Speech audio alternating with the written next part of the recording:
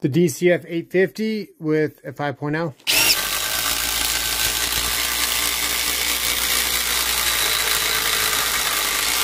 Power core Skil with 2.0.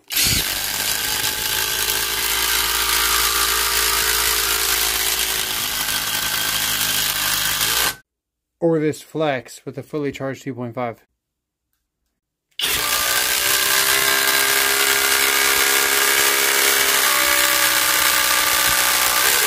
This can be had for about a hundred bucks. This is about 80. Price might vary on this, 100, 150. We're going to try it though with the power stack on the next video.